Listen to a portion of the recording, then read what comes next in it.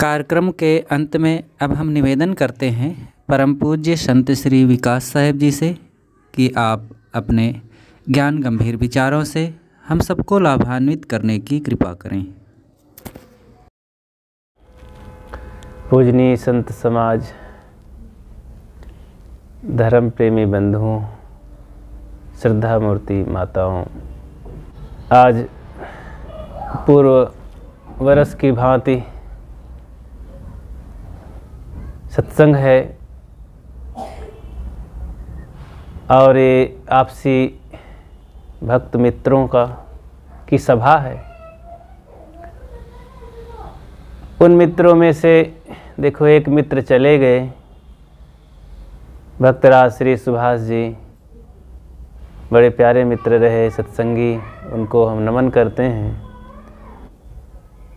सदगुरु कबीर कहते हैं कि संसार गंदगी का पिटारा है ये संसार सकल है मैला। राम गहे ते सूचा, कहें कबीर राम नहीं छाड़ो गिरत परत चढ़ ऊँचा। संसार गंदगी का पिटारा है यहाँ की गंदगी और कचड़ा में बदबू है, लेकिन बदबू लगे तो खुशबू के लिए आदमी भागेगा। अगर गंदगी लगे, दुर्गंधी आए तो सुगंधी की खोज अपने आप चालू होगी। लेकिन दुर्गंधी लगती नहीं है और उसी में आनंद मान लिया गया है। तो खोज करे तो कैसे करे आदमी? दुख लगे तो सुख की खोज आरंभ हो। एक व्यक्ति अंधा होता है। उसे हर समय एक एक पग पर आँख की खोज होती है कि आँख होती मेरे पास तो कितना अच्छा होता। हे प्रभु, तूने मुझे आँख नहीं दिया। अब वो दिल से मुख से तो नहीं कहता बार बार कभी कभी कहता है, लोगों से मिलता है तो लेकिन दिल से बार बार कहता है कि मैं अंधा क्यों हूँ, मुझे आँख होती तो कितना अच्छा होता, आँख होती मेरे पास तो कितना अच्छा होता। इसी तरह, जिसे ये महसूस हो जाए कि वास्तव में मैं ये क्या कर रहा हूँ? कैसा जीवन जी रहा हूँ? ये गलत जीवन है? दुखदाई जीवन है? ये बंधन का जीवन है? ऐसा जिस दिन लग जाएगा ना तो वो भागेगा चारों तरफ़। जैसे मृगा ढूंढता है, उसे जिस पता चला कि सुगंधी आ रही है, कहाँ से आ रही है? दौड़ा। हाँ भ्रमित हो गया। तो यहाँ कई बार लोग दौड़ते भी हैं, लेकिन उल्टी दिशा में चले जाते हैं, मृगा की तरह। सुख लगता है कि सुख मिले तो अच्छा रहे, क्योंकि दुख लगा। लेकिन विपरीत दिशा में लोग भागते चले जा रहे हैं। अब उसी सुख की खोज में तो नाना प्रकार की पूजा पद्धति, कर्म कांड, धर्म कर्म और तमाम चारों धाम और अनेक जागरण हो रहे हैं उसी सुख की खोज में, कि सुख मिले, दुख हमें हमारा कटे। तो क्या ये सही दिशा है? विचार करने की ज़रूरत है। विचार न करने से, पता न लगाने से, सही काम न करने से आदमी का समय निकल जाता है। कई बार ये होता है, जो हम कर रहे हैं, सही तो है ना? और इसी से तो प्रभु मिलेंगे। हमारा दुख कटेगा, मुक्ति मिलेगी, शांति मिलेगी ना? चारों धाम घूमाए बहुत संतुष्ट हो, इसी का गर्व है। अब चारों धाम क्या घूम आए, घमंड सिर पर बैठ गया करके अब तो विश्वास ही हो गया कि अब बद्रीनाथ हो आए हैं, क्या कहना? अब पूछना जांचना है नहीं किसी से। मान लिए कि यही सुगंधी है, लेकिन ये सुगंधी नहीं है। पूछना पड़ता है। थोड़ा से तर्क ज़रूरी है, कुतर्क नहीं, तर्क ज़रूरी है। नहीं, समय बीत जाएगा भाई। ये संसार बड़ा विकराल है। अनंत शास्त्रम बहुलास विद्या अल्पश्च कालो बहुविघ्नता चा यत सारभूतम तदुपासनीयम हंसो यथा छीरमिया मुमध्यात्। बहुत शास्त्र हैं, बहुत विद्याएँ हैं, बहुत कलाएँ हैं, बहुत धर्म कर्म की नियमावलियाँ हैं। समय थोड़ा है, अनेक प्रकार की बाधाएँ हैं उसी में। इसी से छुट्टी नहीं मिलती है। सत्संग का नाम लोग चलो, सत्संग में बाधा खड़ी हो जाती है सामने। तो कहीं शरीर में दर्द है तो कहीं बारिश हो गई है तो कहीं फ़ोन आ गया है, कहीं ऑफ़िस से फ़ोन आ गया है, कहीं कहीं से कुछ हो गया है। बाधाएँ आ जाती हैं। कहीं मन ही जवाब दे देता है, मेरा तो मन नहीं लग रहा है। अनेक बाधाएँ हैं, समय थोड़ा है, और इसी हम, इसी में हम उलझना उलझना आरंभ किए हैं, आगे बढ़ ही नहीं रहे, समय बीत जाता है। बस एक दिन पछताते हुए आदमी चल देता है। नहीं। जहाँ जो है, सही चीज़ का निर्णय करके उस पर चलना आरंभ करें और फिर सतु कबीर कहते हैं, खोजी होए तुरंत मिल जाए। एक पल की ही तलाश में। खोज चालू करें।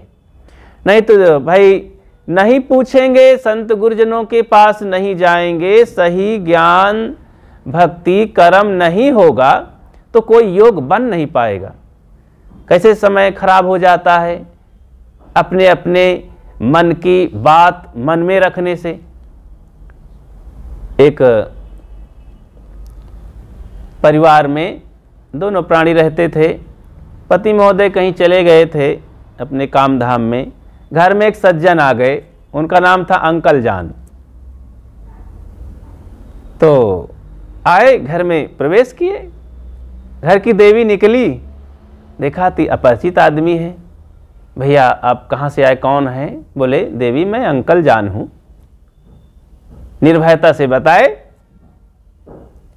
तो उन्होंने सोचा, मैं तो नहीं जानती हूँ, लगता है मेरे पति के ये कोई अंकल हैं। अंकल जान। तो अब इनका तो सम्मान, स्वागत होना ही चाहिए।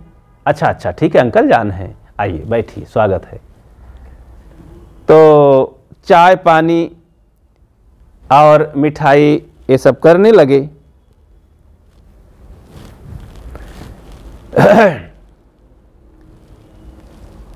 बैठ गए आराम से, उनके लिए बढ़िया बिस्तर लगा उगा दिए। थोड़ी देर में घंटा आध घंटा बीता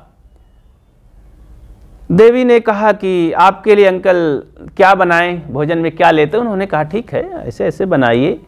बढ़िया से खीर पूड़ी सब्ज़ी बनाइए और चटपटेदार सब्ज़ी कुछ बनाइए और मस्त सब लोग खाएँगे। अच्छा अच्छा ठीक है। इतने में घर के मालिक आ गए। उन्होंने देखा कि एक पड़े हुए हैं सज्जन। तो घर में प्रवेश किए, गए पत्नी के पास।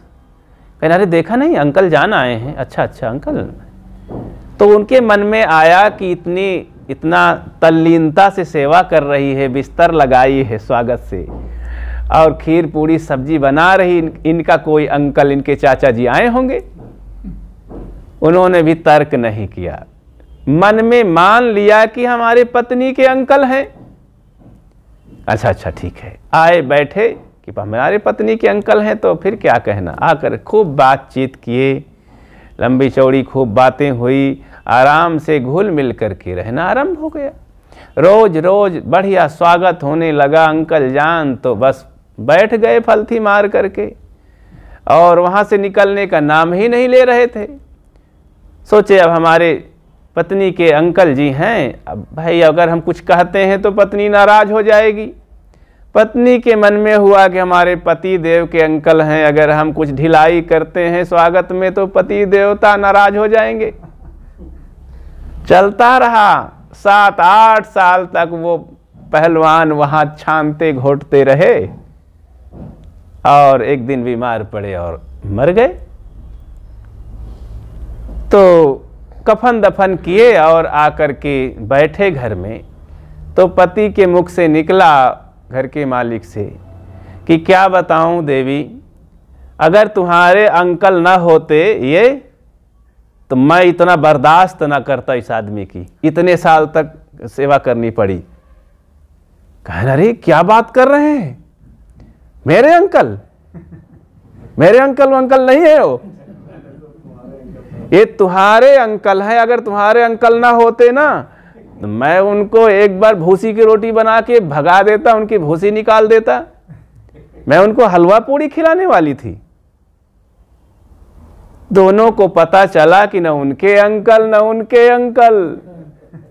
वो तो अंकल जान है। तो बहुत बेचारे पछताए कि ये बात अगर हम तभी पूछ लिए होते तो इतनी झंझट हम सात, आठ साल क्यों सहते? समय इतना बर्बाद हुआ, पछताए बहुत बेचारे। ऐसे ही हमें पता ही नहीं है कुछ चीज़ का। देवी देवता, ईश्वर परमात्मा, जिन देवी देवताओं को हम असलियत में मान करके पूज रहे हैं, जिन ईश्वर परमात्माओं के पीछे मुक्ति की प्रतीक्षा कर रहे हैं कि अब बस मुक्ति ही मुक्ति लेकर देंगे, वो तो उसमें सब बंधन ही बंधन बन जाते हैं। आसक्ति बन जाती है, अज्ञान की पुष्टि होती है, अनेक विकार और दुर्गुण आ जाते हैं। कुछ छूटने वाले नहीं। अरे ईश्वर, परमात्मा, देवी, देवता, जिन्हें हम कहते हैं तैंतीस करोड़ देव, देवी देवताओं को, सारे ईश्वर परमात्माओं को मान करके ही तो सारे दुर्गुण मनुष्यों के जीवन में हैं। गली गली पर तमाम मंदिर, मस्जिद बने हुए हैं। अगर इनमें कुछ लाभ होता समाज को तो समाज का समाज का नव निर्माण हो जाता। सबके मानसिक स्थिति में बदलाव आ जाता। वही दुर्गुण दुराचार, वही दोष, वही कलह कल्पना, वही लड़ाई झगड़े, वही चोरी बदमाशी, वही छल कपट बेईमानी दगाबाजी, कम होने का नाम ही नहीं ले रहे हैं। भजन भक्ति तो हो रही है, कहाँ नहीं हो रही है। इसलिए संदेह की ज़रूरत है कि नहीं? आखिर इतना सब हो रहा है, सदियों से भगवान की पूजा हो रही है, मनुष्य को संदेह नहीं होता है। संदेह करने की ज़रूरत है, तर्क करने की ज़रूरत है। चारों तरफ़ जो विषमताएँ हैं, तर्क हमें आगे बढ़ाता है नए नए खोज करवाता है। तो इसीलिए आदमी चाहे जितना सुने, अब पूजा पाठ करे, जब तक उसको बदबू नहीं लगेगी संसार की गंदगी से, तब तक वो खुशबू खोजेगा नहीं। कितना भी सत्संग सुना डालो, गीता, भागवत, वेद, शास्त्र, उपनिषद, पुराण, सब में तो बढ़िया बातें लिखी हैं, कल्याण की सामग्री है। और इस संसार में सब दिखाई देता है, एक से एक संत महात्मा पूरा काल से हुए, कहा कब नहीं हुए? एक से एक चोटदार, जोरदार बातें बताई गई, लेकिन सदा से संसार ऐसे उलझा हुआ रहा। तो इसी में से कोई भाग्यशाली और पुण्यात्मा जन्म जन्म का संस्कारी को वो दुर्गंधी समझ में आती है और आत्मज्ञान की सुगंधी के लिए वो सब छोड़ करके निकल पड़ता है, त्यागता है। इसीलिए सदगुरु श्री पूर्ण साहब ने कहा कि दोष दृष्टि जब ही भई, तब उपजो बैराग। दृढ़ निर्वेद जाको भयो, सोई मुक्ष बड़ भाग। दोष दृष्टि होना ज़रूरी है। हमें तो सुख दृष्टि मालूम हो रही है। सुख दृष्टि में कभी भी दुख मिटने वाला नहीं है।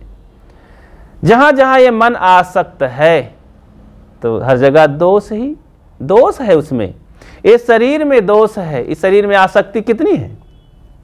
मेरा शरीर है। और इसी में हम मान लिए हैं, इसी में अनेक प्रकार के विकार पैदा हैं। इसी को मैं मान लिया हूँ। मैं बिल्कुल अलग हूँ। ये शरीर मैं नहीं हूँ। मैं और मेरा कभी एक नहीं होता। और मेरा कभी मैं नहीं होता। मैं कभी मेरा नहीं होता। ये बिल्कुल साफ़ साफ़ बात है। हमारे संत समझाते हैं सरल उदाहरण दे करके मोटर और ड्राइवर। घर और घर का मालिक। एक महापुरुष ने तो समझाया कि शरीर टेबल लैंप है। और ये मानो एक लैंप है फोकस। और ज़िंदगी की किताब को पढ़ने के लिए, दुनिया की किताब को पढ़ने के लिए लैंप है ये शरीर। जल रहा है। और सौभाग्य समझो कि ये शरीर रूपी लैंप जल रहा है, बुझा तो नहीं है। और खुशियाँ ही खुशियाँ इससे प्राप्त करो, लेकिन नहीं, आदमी उदास है, निराश है। कभी भी जीवन में समस्याएँ, उदासी, चिंता फ़िक्र जब आती है तो उससे आदमी को खोज करना चाहिए और सदुपयोग भी करना चाहिए। किसी ने कहा कि सर्प को सीढ़ी बना करके हम आगे बढ़ सकते हैं, खुशियों को हासिल कर सकते हैं, छत पर पहुँच सकते हैं। सर्प की सीढ़ी का मतलब अरे ये चिंता, फ़िक्र, उदासीनता और विकलता, ये सब सर्प ही है, जिन्होंने अन प्रतिकूलताओं को दुख माना और विपत्तियों से हारा, भागा, वो कुछ नहीं कर पाया।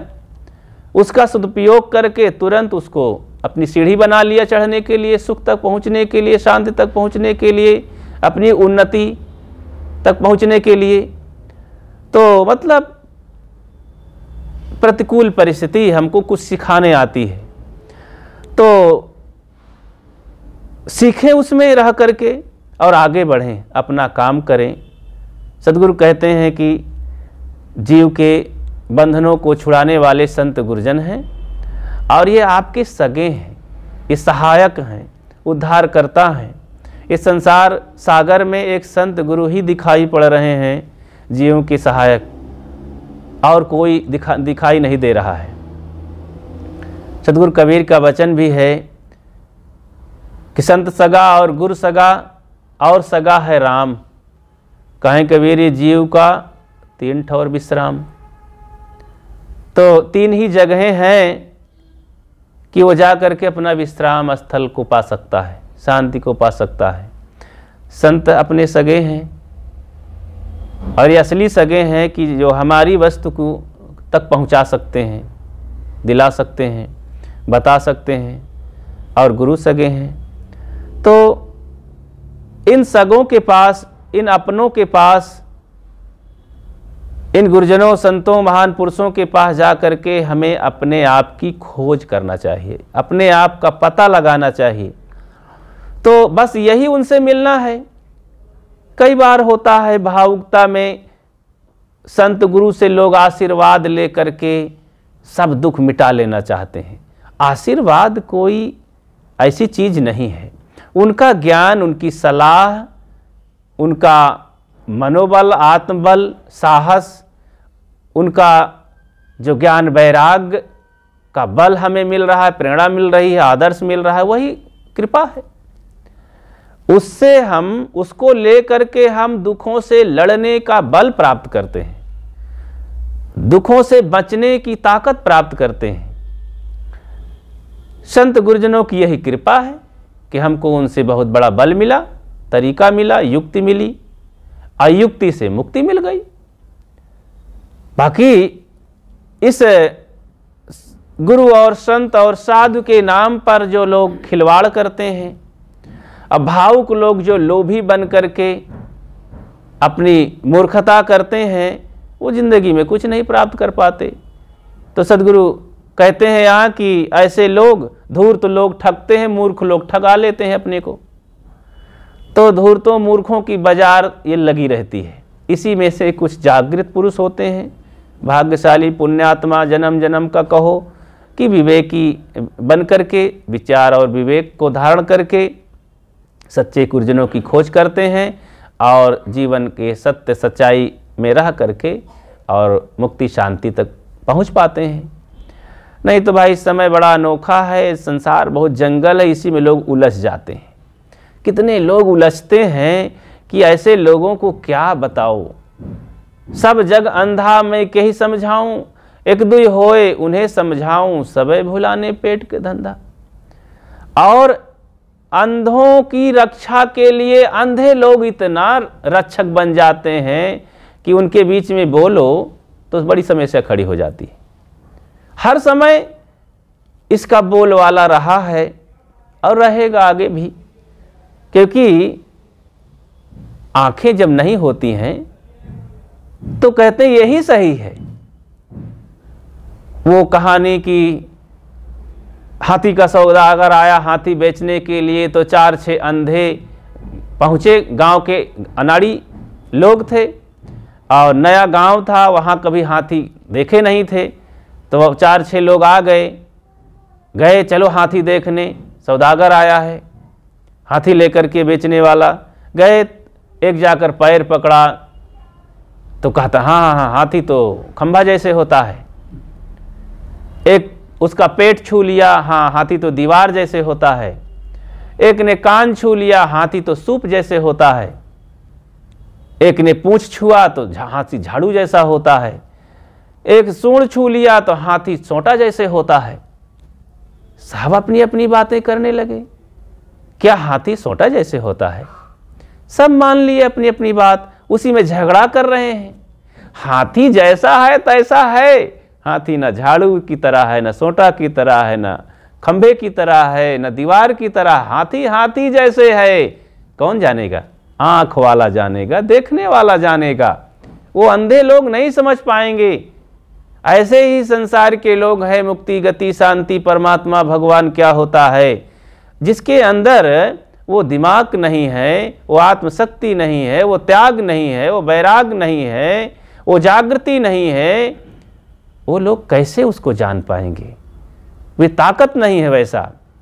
है पासे भासे नहीं, नालत ऐसे जिंद, तुलसी ऐसे नलिन को भयो मोतिया बिंद। पास में है, लेकिन भासमान नहीं हो रहा, दिखाई नहीं दे रहा, मालूम नहीं पड़ रहा। जो तिलमाही तेल है जो चकमक में आग तेरा साई तुझ में जाग सके तो जाग। सदगुरु कबीर की तो एक एक बातें और बिल्कुल खुली हुई पुस्तक है वेद शास्त्र है। लेकिन ये दुनिया है, इसमें कहने सुनने वाले सदा से रहे, लेकिन वही बात है कि जिनको इस कचड़े में रहने की आदत पड़ गई है, उसी अंधविश्वास पाखंड में जूझने की आदत पड़ गई है, आँखें खोल ही नहीं रहे हैं। कोई आते हैं, महाराज, कौन नाम बड़ा होता है? नाम बहुत होते हैं, नाम की कौन सा नाम की पूजा पाठ करें, उनको क्या बताओगे? कितना नाम है? यहाँ तो लाखों करोड़ों नाम हैं, और नाम सब झूठे हैं। किस नाम की पूजा करेंगे? जो नाम सही भी लगता है, वो बहुत विचार करने पर वो भी झूठा हो जाता है। देखो मैं हूँ मैं हूँ, सब लोग कहते हैं। मेरा है तो छोड़कर लोग चल ही देते हैं। अब मैं को कैसे छोड़ छोड़ पाओगे? हाँ कभी कभी अपने शरीर में से जोड़ लेते हैं मैं को। सदगुरु अभिलाष साहब ने बताया कि एक माइक होता है व्यवहार चलाने के लिए, एक तथ्य होता है, मैंपन। तो व्यवहार चलाने के लिए भी संसार में मैं का उपयोग करना पड़ेगा। नहीं तो मैं तो अजर अमर अविनाशी चेतनात्मा हूँ। लेकिन मैं भी पर्याप्त नहीं है मैं तक पहुँचने के लिए। उसके लिए अंततः तो मौन होना पड़ता है, महसूस करना पड़ता है, अनुभव करना पड़ता है।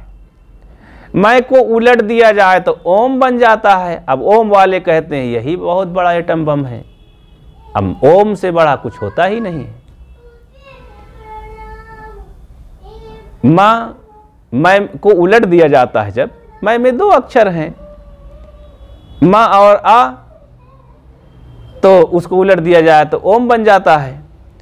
अब इसी को और कुछ बना दी तो नए नए शब्दों को लोग महत्व तो देते हैं। कोई इसी में नया शब्द दे देता है। तो और रूढ़ बना देता है कि यही सबसे बड़ा है।